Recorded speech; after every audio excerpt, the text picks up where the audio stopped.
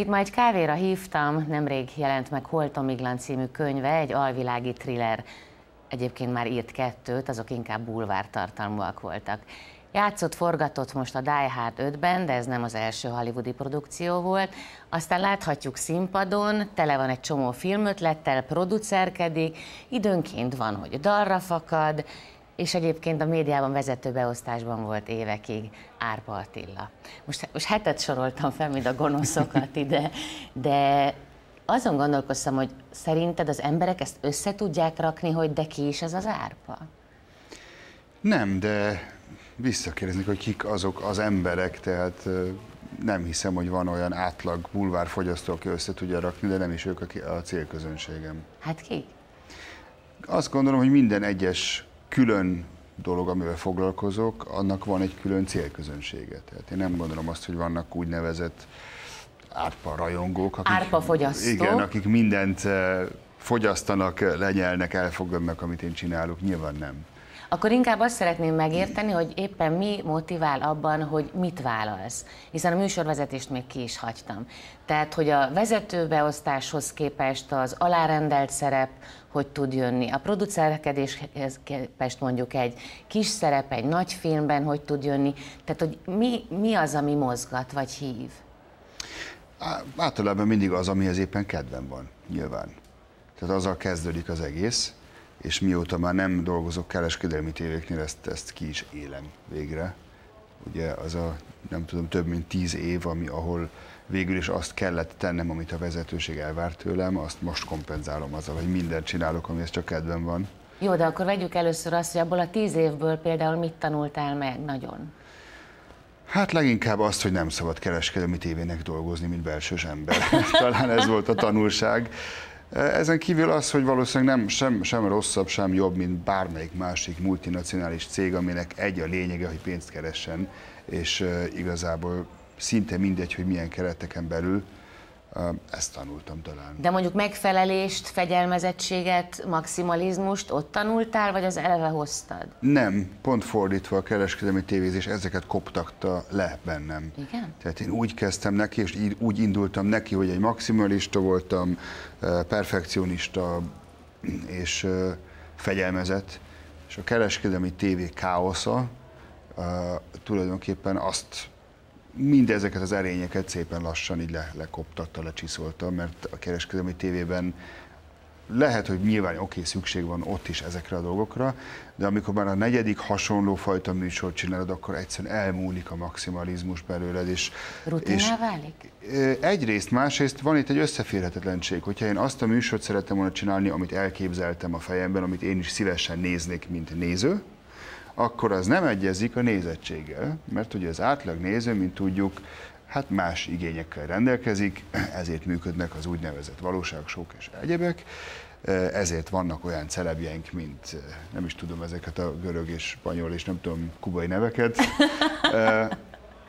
Úgyhogy a lényeg az az, hogy nem, eleve nem kompatibilis a kettő, a maximalizmus meg az, hogy azt akarom lerakni, ami szerintem tökéletes. Tehát gyakorlatilag, amikor onnan kijöttél, és volt rólad egy kép, ahhoz képest utána engedhetted meg magadnak újra a maximalizmust, a fegyelmezettséget és a perfekcionizmust? Nem, itt van egy nagy félreértés, mert te újra rákérdeztél egy olyan dologra, amit image-nek nevezünk. Tehát, hogy mit gondolnak rólam. Hát van itt egy borzasztóan fontos félmondatom, hogy ezt soha, ez soha nem igazán érdekelt. Tehát most kezd el, most 40 évesen kezd el érdekelni, hogy ki mit gondol rólam, de e, itt is csak akkor, hogyha egy olyan műfajról van szó, ahol a visszajelzés fontos. A tévénéző véleménye nem érdekelt, mert ő egy, egy műsort néz, aztán ott van a 150 ezer vagy másfél milliós nézettség, tehát hogy ki mit gondol egyébként így önmagában, az nem érdekelt. Most mondjuk egy színházi szerep, egy filmszerep, na itt viszont már érdekel, hogy hát ki ott, mit gondol. ott a tekintet, és ott a taps, vagy nincs? Ott a néző, ott a rendező, ott vannak már olyan emberek, akinek igenis meg szeretnék felelni, és nem utolsó sorban a kritikusok. Tehát eddig nem érdekelt, hogy mit gondol egy kritikus rólam, mit írnak a tévéműsoraimról, még az első nagyjátékfilmemnél sem érdekelt, mert tudtam, hogy mit fognak írni. Most az Argóra utal. Így van. Ez megváltozott bennem. Most már kíváncsi vagyok arra, hogy egy kritikus mit gondol. Megváltozott benned, tehát mondjuk az igény keltődött benned, de ezzel egy szándék is ébredt, hogy áthangold. Tehát már kihívás volt, hogy mit gondol a kritikus, tehát akartad, hogy mást gondoljon, és teszel is érte, tehát elkezdtél dolgozni azon, hogy mit gondolnak a számít, azok az emberek, akik számítanak? Igen, azon kezdtem dolgozni, hogy jó legyek bizonyos dolgokban, amiket ténylegesen kézenfoghatóan le lehet mérni, és nem valami nézettségben. Egy, egy filmszerep, nagyon egyszerű. Egy filmszerepet jól eljátszani azt jelenti, hogy a tolú író vagy kritikus is azt fogja mondani, hogy ezt jól eljátszotta, elhittem neki, ügyes volt. Igen, és volt olyan kritikus, aki téged először ugye megítélt, hogy mit keres itt ez a médiafene gyerek, és ugyanaz a vitriolos tollú kritikus kiemelt téged egy szerep kapcsán, és megkaptad a dicséretet, erre emlékszem, ez egy pár éva volt. Például, És igen. ez neked akkor egy nagyon fontos pillanat volt, még Így van. beszélgettünk erről. De például az, hogy most mondjuk ugye a Bruce Willis-es nagy produkcióban játszottál, és tudom, hogy titoktartás köt. De hogyha ilyen produkciókban játszol, miközben Magyarországon, meg nemzetközileg is gondolkodsz filmtervekben, egy ilyenben kis fogaskeréknek lenni, mire tanít? Tehát mit lesel el? Nem történetekre vagyok kíváncsi, hanem inkább ami beléd rajzol, vagy, vagy amit elhozol onnan magaddal, mint tapasztalás. Én azt gondolom, hogy minden filmforgatáson lehet tanulni, és én nem, nem titkolt célom, hogy én filmrendező szeretnék lenni. A film színészet az egyfajta hobbi, ami ugyanakkor meg nagyon sok információhoz juttat hozzá. Minden forgatáson, legyen az most éppen egy amerikai gigaprodukció, vagy egy kisebb magyar művészfilm, azokban is szerepelek mostanában, mindenhol tudok tanulni vagy jót, vagy rosszat, de mind a kettő segít nekem abban, hogy jobb rendezővé váljak. És ez most teljesen mindegy, hogy egy B-kategóriás verekedős akciófilm, vagy éppen a legnagyobb hollywoodi, nem tudom Nem zavar milliós. a kicsi meg a nagy különbsége? Egyáltalán nem. Én nem így, nem így mérem fel a dolgokat. Lehet, hogy kis fogaskerek vagyok, aki három mondat után egy golyó záporban már soha több eltűnik, és, és ennyi volt, de az a néhány forgatási nap nekem általában elég, hogy hogy kifigyeljem azokat a dolgokat, amiket itt érdemes tanulni. Mert nyilván egy eh, Jean-Claude Van damme akciófilmben nem arra fogok figyelni, hogy a színész hogy instruál egy, egy művészt, és hogy hozza ki belőle a Stanislavski féle mély érzelmeket, hanem hogy hogy vágnak össze mondjuk egy kardozós jelenetet. Most mondtam valamit. Tehát minden produkciónak megvan. Aztán ott volt például a, a Cukorsó című film, amiben az egyik szerepet játszottam. Arra kaptad a nagyon jó kritikát. Így van, pontosan. Ott sem a producer és a rendezőnek azt a tulajdonságát figyeltem, hogy a vágást vagy hasonlókat, hanem ott például pont azt, hogy egy színészt hogy instruál, egy hosszú jelenetsort, hogy sikerül mégiscsak, lévén, hogy nem volt túl sok pénz egy, egy rövid forgatási napba bepréselni, meg ilyesmi. Tehát akkor a játék örömén kívül, ami szintén egy tanulási folyamat nyilván, meg egy megfelelési helyzet vagy szituáció, azon túl azért mégiscsak távolra vizionálsz, és a, a messzi célok alá rendeződnek ezek a dolgok, amiket elsajátítasz? Abszolút. Nevezetesen, hogy filmrendező legyek? Abszolút, erről van szó, igen. igen. Adsz magadnak egyébként határidőket, hogy a fiókban lévő filmterveknek mikorra kellene megvalósulni, mikorra kéne odaérni Cannes-ig, vagy Hollywoodig, vagy Türelmes vagy magaddal, vagy nem? Nem, ezek a határidők már mind lejártak. Ami azt jelenti, hogy, hogy folyamatosan próbálom magam utolérni, korban, években, határidőkben, tehát én már rég át kellett volna, hogy vegyem az Oscárt, ha így, ha így, ha így nézem és ez egy olyan fajta motor, amit tulajdonképpen folyamatosan pörget, és, és, és emiatt szerintem nem tudok és nem is akarok lelassulni. De ezen is gondolkoztam, és már erről is ejtettünk szót más felületen, hogy, hogy te magad fogalmaztad meg, hogy 40 évesen kevesen képesek váltani, és te pedig nagyon hiszel a váltás lehetőségében és jóságában. Frissülést ad az agyadnak, a szellemednek, a, a vérednek, a mindennek, hogy Szerintem mindenki felfrissülne, ha így fogalmazunk, aki nem tudom hány évtized után rájön arra, hogy most tulajdonképpen végre kiléphetek valamiből, és csinálhatom azt, amit szeretek csinálni. De kockázatos mert... kilépni, mondanák erre, mert mi lesz, ha nem sikerül? Jó, Legalább ez persze, a kis békés izé Aki nem kockáztat, hát e- ezt tudjuk jól, és uh, itt most nem is anyagi biztonság, meg ilyesmikről beszélek, mert sokszor arra hivatkoznak például ismerőseim, akiknek azt mondom, hogy hát hagyd abba is, csináld azt, amit szeretnél. Uh, lehet, csak igen, kell, kell hozzá egyfajta elhatározottság, az biztos ugyanakkor meg egy olyan, hogy is mondjam, olyan boldogság él az emberben nap, mint nem teljesen másképp ébred az ember, másképp kezdődik a napja, másképp éli meg a pörgést. Tehát ez már nem stressz, hogy hú, megnézem a naptáramat, és be van osztva minden percem, de nem az van, hogy stresszel indul a napom, és stresszel végződik, hanem mivel minden percét szeretem, majdnem minden percét, ezért teljesen másképp indulok neki egy napnak. Egyébként, ha már a stressz helyett a pörgést mondod, ami szintén stressz, csak mondjuk pozitív stressz, azért ahhoz, hogy kondícióban tartsd magad, nevezetesen, hogy volt, hogy éjszakánként x órán keresztül írtál, castingra jársz, forgatsz, tehát, hogy tele van a naptár. Emellett a 40-es fizikumodra mennyire vigyázol, és mennyire van rá idő? Hát amikor tehetem, nyilván vigyázok rá, de bevallom őszintén, hogy mostanában nem volt. Tehát az elmúlt egy pár Nem, nem hetet... látom, hogy pocakod lenne. Hova néztél? Ja, a pocakomra, jó? Oké. Okay. Nem, most az elmúlt három-négy hétben nem volt időm sajnos semmire. De egyébként Hiányzik milyen fajta is. tréningbe hiszel? Tehát az neked mi kell? Hát az amerikai foci például. Az olyan, még van? Persze, olyan, hát most éppen nem, mert a szerződés tiltja, hogy kontaktsport, küzdősport, extrém sport, ez nem. Még motorozni sem szabad.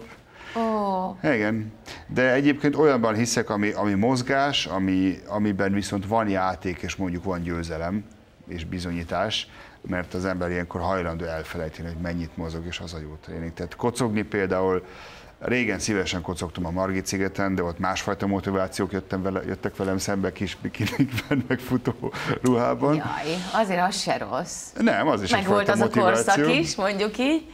Ja, most például az amerikai foci egy ilyen dolog, vagy nem tudom, box, amikor az ember annyit mozog, mint hogyha 15 km futott volna, pedig egyszerűen csak arra figyelt, hogy mikor üt és mikor kap egyet. De a győzelem meg a bizonyítás, az gyakorlatilag bármelyik területre megyek, ott van, nem? Ilyen kis kulcs szónak. Igen, az, az, az is bennem van. Lehet, hogy ez, ezt egy pszichológus furcsálná, hogyha elmondom, hogy igen, bármihez kezdek, mindig van benne egy faj, van, van benne egyfajta, nem is tudom, kompetitív gondolkodás, leginkább talán így kéne fogalmazni. És ilyen szempontból a kudarc tűrésed milyen? Tehát, hogyha nem sikerül, ha pályázok és nem fogadják el, ha elmegyek castingra és nem engem választanak. Tehát a, te milyen fajta vagy, aki ebben a helyzettel mit kezd? Tovább lép, vagy Hát itt a, az azzal társul, hogy próbálom akkor megítélni, hogy mennyire jogos vagy nem jogos, tehát beadok mondjuk egy filmterv pályázatot, Általában hál' Isten indokolják ma már az új film alap, hogy miért nem, és nem csak azért, mert bocs, nem vagy rokon, ciao, hanem elmondják az érveket, és hogyha ezekkel egyetértek, akkor persze azt mondom, hogy oké, okay, igazuk van. Um, ha vagy egy castingnál ugyanazon, hogy nézd, itt van az, aki megkapta, és sokkal jobb volt nálad. Akkor el tudom fogadni. Ha viszont nincsen egy logikus érve mögött, akkor nem, akkor nem tudok tovább lépni. Akkor rákcsálod egy kicsit? Igen, akkor bennem marad, és uh, itt egy kicsit szerintem a csillagjegyem is majd közbe jön. Uh, a, várom a lehetőséget, amikor visszacsaphatok, vagy, vagy, vagy végleg bebizonyíthatom, hogy de mégis én. Milyen csillagjegyű? Skorpió. Ajajajajaj. De egyébként ebbe hiszel, hogy ez jelent valami? Tulajdonságokban igen, tehát rengeteg olyan tulajdonság van szerintem csillagegyben, ami azonos csillagjegyeknél azonos Na mondjuk a skorpió kapcsán magadnál mi az a három, ami hát Pont az a küzdővágy például, féltékenység, szenvedély, szeszély, ezek a dolgok. Igen. Ahhoz képest viszont mondjuk, hogyha a magánéletedre tereljük egy picit, akkor nem tudom, a szeszély mennyire maradhatott meg, de szép szenvedéllyel, vagy szenvedély lett, és bontakozott ki már vagy jó tíz éve ugye a pároddal, és megérkezett a saját maketted lányba, aki ugyanúgy nehezen fékezhető, amit magadról meséltél gyerekkorban. Most nem skorpióként, de azzal az életvitellel, amivel te éltél, például szerintem ezt is bár nem érdekel, ugye, hogy mit gondolnak az emberek, de ezt is úgy nyilván ilyen árgus szemekkel nézték, hogy na ez a pasi képes lesz-e hosszú távon a boldogságra vigyázni, vagy az egységre vigyázni. És megcsináltad már tíz éve már fejben is átfordult, hogy mik a fontosságok? Vagy ez szívben dőlt? Nem, azt gondolom, hogy az egyfajta konzervatív hozzáállás az élethez, ami mindig is bennem volt, például a család, családalapítás.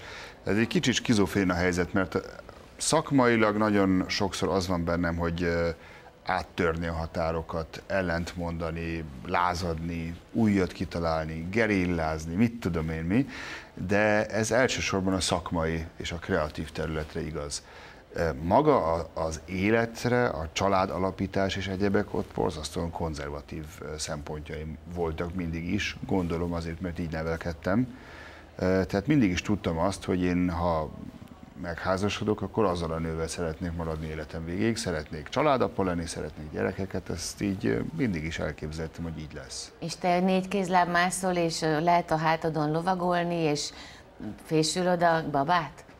Az utóbbit nem, de a többi az igen. Azt, hogy nehezen tudom elképzelni.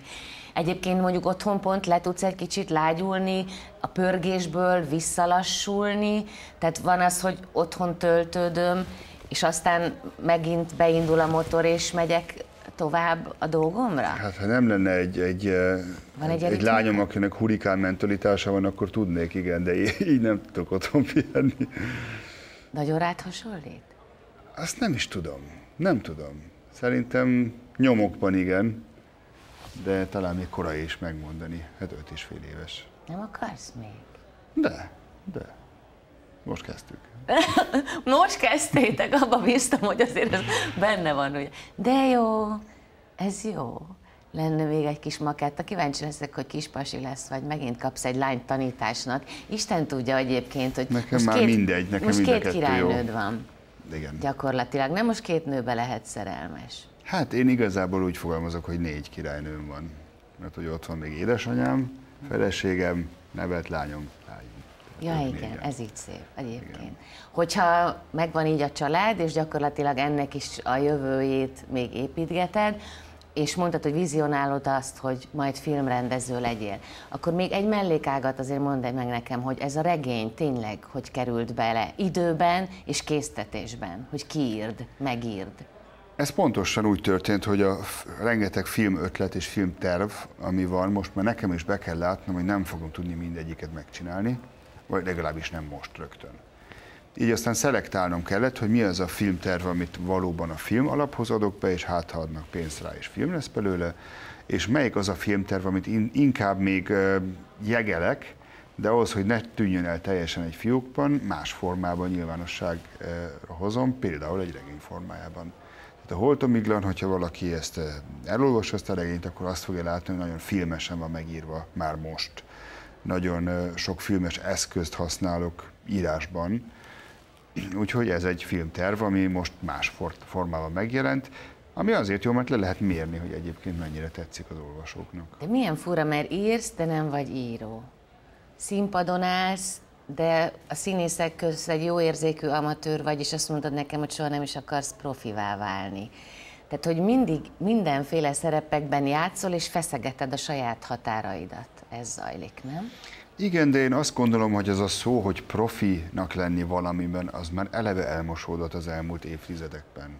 Egyrészt most már boldog-boldogtalan elkezd írni és könyveket kiadni. Teljesen mindegy, hogy ez most éppen egy szakácskönyv, vagy egy nem tudom micsoda, vagy a saját drog élményeiről ír egy színész, teljesen minden, mindenki könyveket ír. E, itt azt gondolom, hogy olyan, hogy egy profi e, író, az a szó, az már nem is biztos, hogy ennyire kézenfogható filmkészítésnél, televíziónál ugyanezek vannak. Inkább közlési vágyról beszéljünk nálad? Nem, Bármelyik... pont fordítva. A többieknél igen, nálam nem. Akkor viszont jó, pont fordítva, az mi, mi a közlési vágy fordítva? Hát mondjuk úgy, hogy a közlési vágy az első könyvemre igaz volt, amikor az RTL-ről írtam, és a hátterekről, és hogy én hogy látom a médiát. Tehát igen, furcsa módon azzal kezdtem, pedig fordítva szokott lenni. Um, ez például egy regény, egy fikció, tehát itt uh, semmi nincsen benne, ami úgymond, az, tehát nem, nem, az, nem, nem én vagyok ebben benne, csak az én történetem, és ahogy én megírtam, de egyébként ezek mind fikcionális karakterek, vagy olyanok, akikhez nem volt sok közöm. De élveztetett, számíthatunk arra, hogy egy másik is kikerül a fiókból, és egy újabb filmes regény születik? Tehát ez valahol, nem tudom én, egy fellélegzés, hogy na ez már azért valamilyen formátumban oda van téve? Nem tudom még. Ugyanis a regényt pár szeretik, és sokan veszik, de nem annyian, amennyien hát én szerettem volna, hogy vegyék. Lehet, hogy azért, mert még nem tudják párosítani az én nevemet az, hogy regényírás. Hát de ma megint ott tartunk, ahol az elején, hogy a Árpa Attilához mit csatol a kicsoda, és hogy megtalálja-e a te regényed a célközönségét. Végül is ezen kéne most dolgozni, nem? De ezek szerint olyan vagyok, mint egy szupermarket, hogy bemegy az ember, aztán majd válogat, hogy hát a regény tetszik, de a film nem, nekem az argó tetszett, de amit a tévében csinált nem.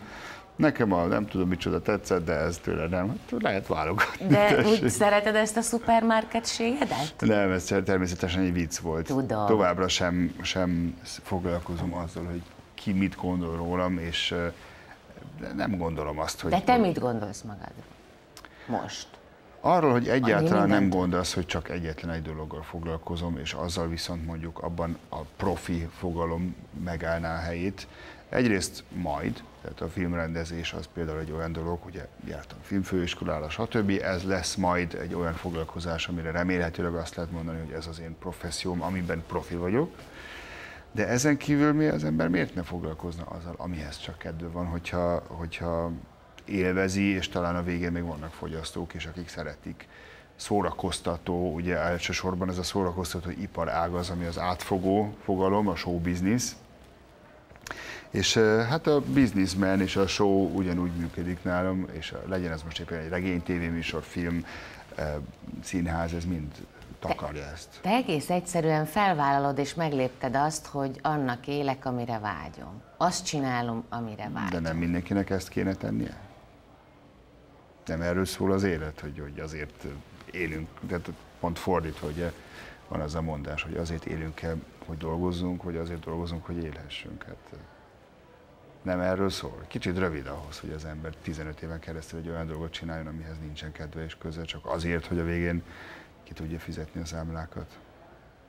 Neked ez egy egyébként átkattant, mert te is azért évekig csináltad, nem? Hogy azért dolgoztál, vagy azért éltél, hogy dolgoztál, nem azért dolgoztál, hogy élj.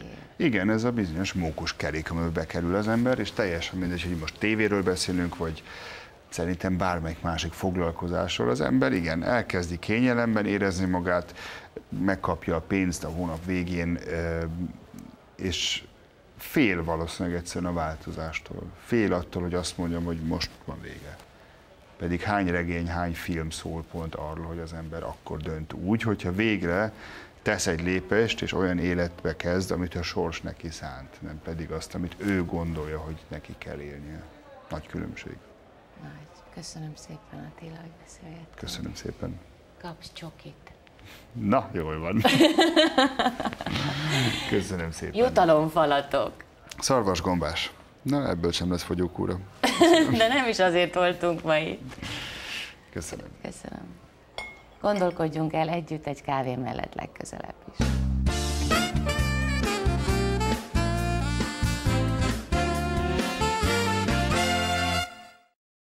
Az egy kávé Szilinórával együttműködő partnere a budapestisminkiskola.com